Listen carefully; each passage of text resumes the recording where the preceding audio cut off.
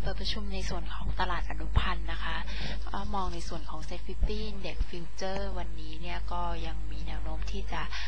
แกว่งตัวลงได้ต่อโดย หลังจากที่เมื่อวันศุกร์ก็ปิดลบไป 9.50 จุด ขณะที่ในส่วนของ Set 50 เองก็ปิดลบไป 5.48 จุด โดยทั้งนี้ก็มองปัจจัยที่เข้ามาเป็นแรงกดดัน ก็มาจากในเรื่องของอ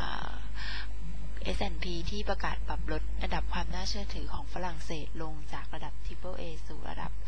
Double A plus แล้วก็ยังมีอีก 8 ประเทศในเขตยูโรโซนที่ถูกปรับลดเครดิตลง ขณะที่ในส่วนของ S&P เนี่ยก็มีความวิตกว่ามาตรการที่ผู้กำหนดนโยบายของยุโรปได้ใช้ในการรับมือกับวิกฤตนี้เนี่ยอาจจะไม่เพียงพอกับการแก้ไข ปัญหาที่กำลังดำเนินอยู่ในเขตยูโรโซน แล้วก็ยังมีข่าวว่า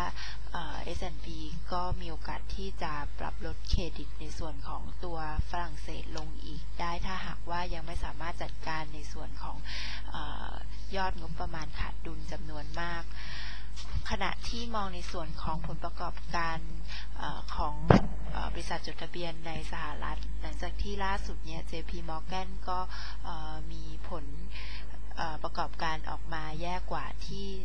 ตลาดคาดการไว้ก็ยิ่งทำให้นักลงทุนเนี่ยมีความวิตกกังวลเกี่ยวกับผลกระทบจากวิกฤตหนี้ในยุโรปในรอบนี้ ส่งผลให้ในส่วนของตลาดหุ้นแล้วก็ราคาสินค้าโภคภัณฑ์ทั่วโลกเนี่ยปรับตัวร่วงลง ขณะที่มองในส่วนของปัจจัยภายในก็ยังอยู่ท่ามกลางความไม่มั่นใจ หลังจากที่หลายประเทศเนี่ยประกาศคำเตือนเกี่ยวกับสถานการณ์ในประเทศไทยว่าอาจจะมีการโจมตีของกลุ่มก่อการร้าย ก็มองว่ายังทำให้เป็นยังคงสร้างแรงกดดันต่อ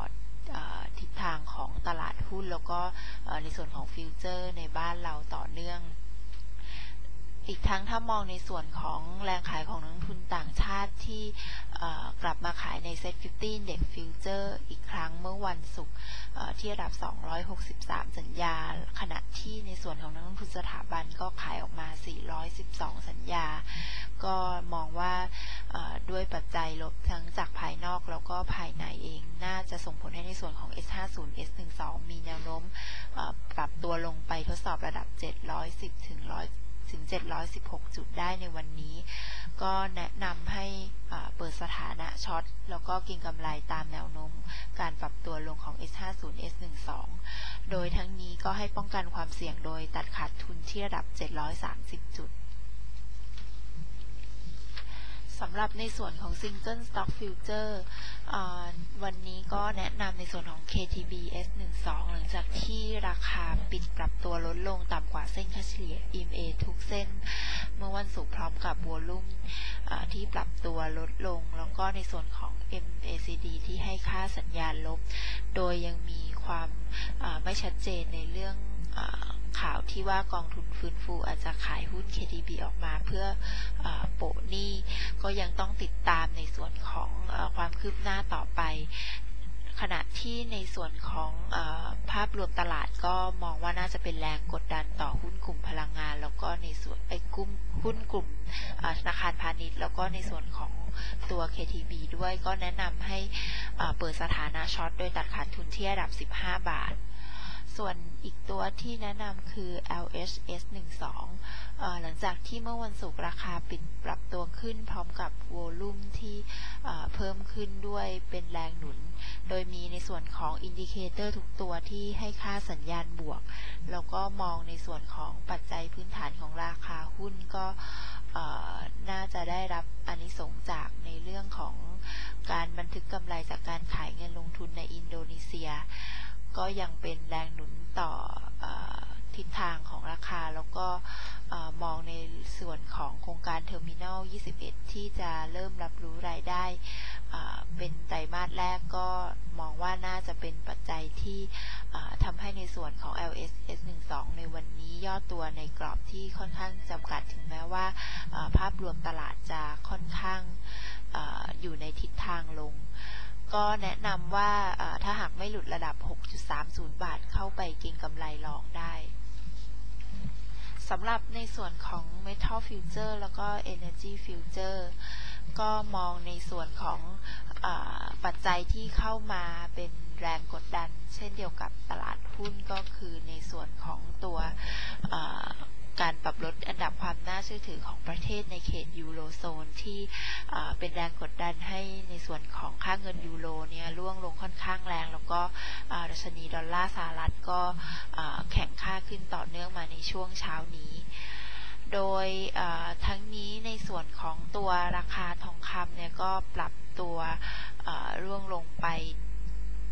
ทดสอบระดับ 1,627 เหรียญ ต่อออนซ์เมื่อคืนวันศุกร์แต่ว่าช่วงเช้านี้ก็มีดีดตัวกลับขึ้นมาอยู่ที่ระดับ 1,633.83 เหรียญต่อออนซ์ โดยทั้งนี้ก็มองว่ายัง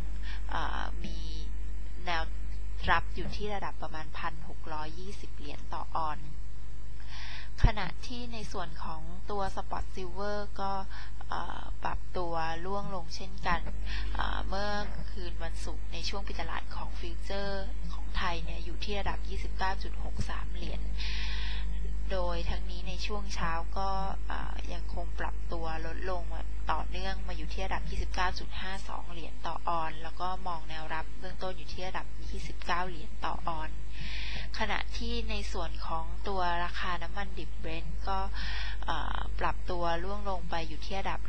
109.45 เหรียญต่อบาร์เรลในช่วงปิดตลาดฟิวเจอร์เมื่อคืนวันศุกร์ แต่ว่ามี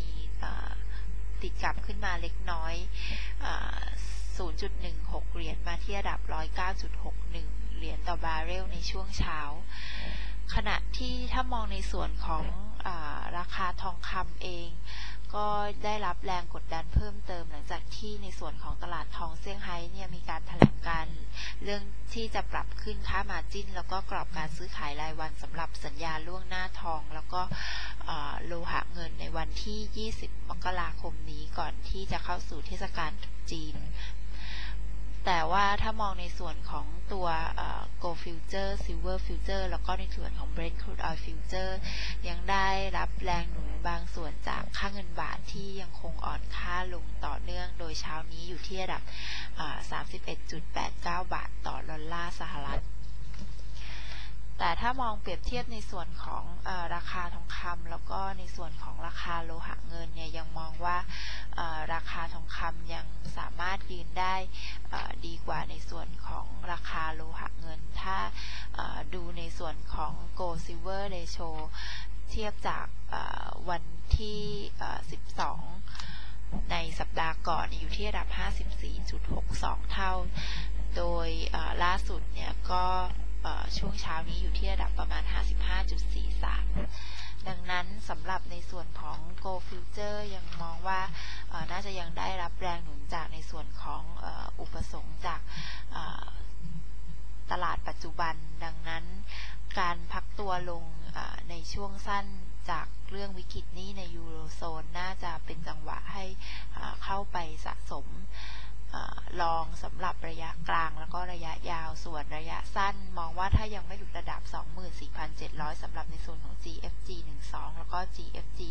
12 ให้รอเปิดสถานะลองได้โดยทั้งนี้ก็สำหรับในระหว่างสัปดาห์ก็อาจจะเข้าไปดูรายละเอียดสำหรับการเข้า ทำกลยุทธ์ แล้วก็ในส่วนของปัจจัยที่จะเข้ามา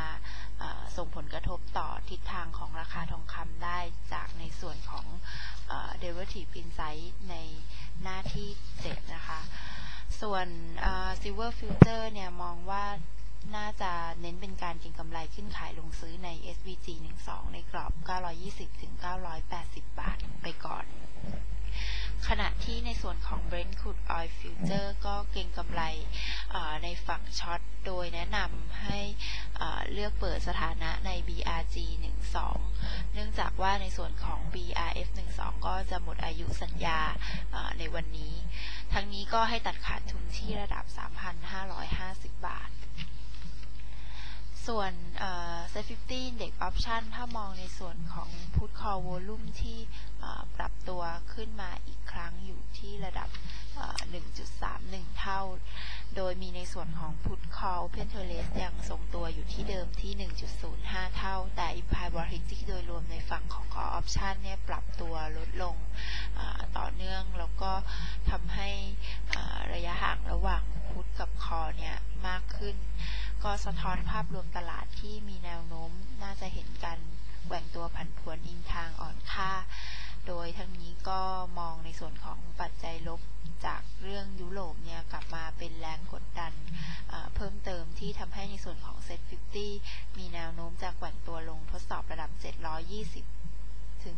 710 จุด ดังนั้นก็แนะนำให้ทยอยรับรู้กำไรในส่วนของช็อตคอสัญญาเดือนมีนาที่ราคาใช้สิทธิ์720 ถึง 730 จุด ปิดการประชุมในส่วนของตลาดอนุพันธ์ค่ะ